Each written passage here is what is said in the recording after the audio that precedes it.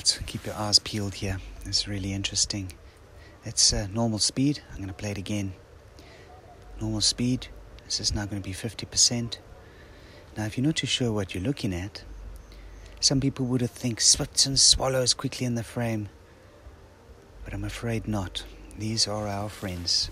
These are our friends interacting with our nature, and these are our friends mimicking our nature. Just want you to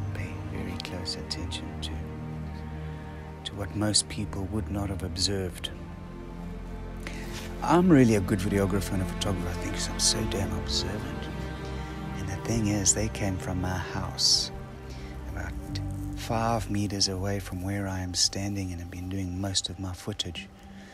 As far as I am concerned, yesterday I asked if I could please get some more high resolution footage of these mimics so we can start to prove it. And today, boom.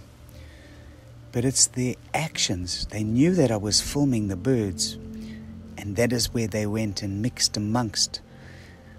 But it's the fine, fine, fine tuning stuff that they know that I'm going to look for.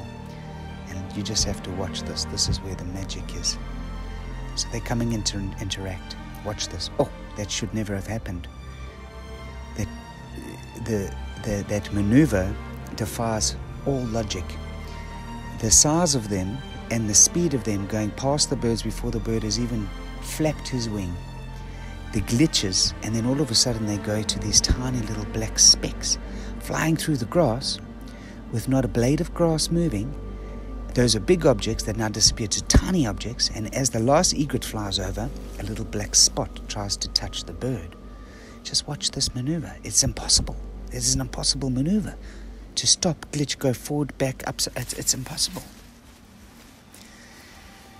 These, my friends, are these little elements I'm filming with my camera and the speed and these little glitches they make. I'm not doing that. it's normal. Unbelievable. But uh, there we have it. There's some touch of magic. Our sparrows that can become tiny dots.